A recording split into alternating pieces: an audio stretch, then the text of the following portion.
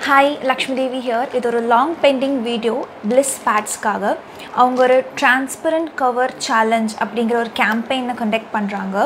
Don't hide pads அப்படிங்கிற கான்செப்டில் எனக்கு வந்து சானிட்டரி நாப்கின் வந்து நியூஸ் பேப்பரில் ரேப் பண்ணி சென்ட் பண்ணியிருக்காங்க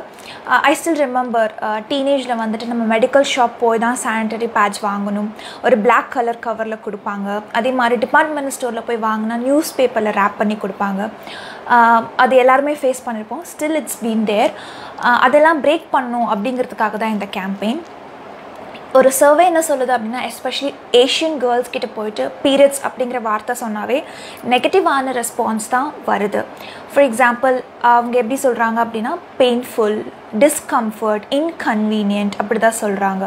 எம்பாரஸ்ட் அப்படி தான் சொல்கிறாங்க ஸோ இந்த மாதிரி விஷயங்கள்லாம் பிரேக் பண்ணணும். அது டிரான்ஸ்பரண்ட்டாக இருக்கணும் டிரான்ஸ்பரண்ட்டாக யூஸ் பண்ணப்படணும் பேசப்படணும் அப்படிங்கிறதுக்காக நிறைய டேபூஸ் அதை ஒட்டி பிரேக் ஆகணும் அப்படிங்கிறதுக்காக தான் இந்த ஒரு campaign I really support them so now I'm just breaking my sanitary pads which is wrapped in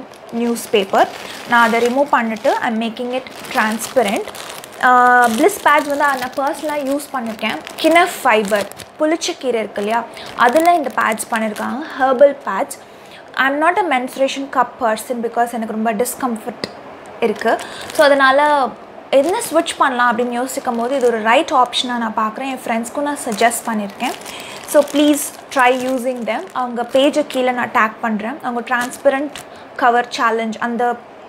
பேஜையும் பிஸ் பிளாட்ஸ் அப்படிங்கிற பேஜையும் நான் டேக் பண்ணுறேன் thank you so much for sending me this I really support the team thank you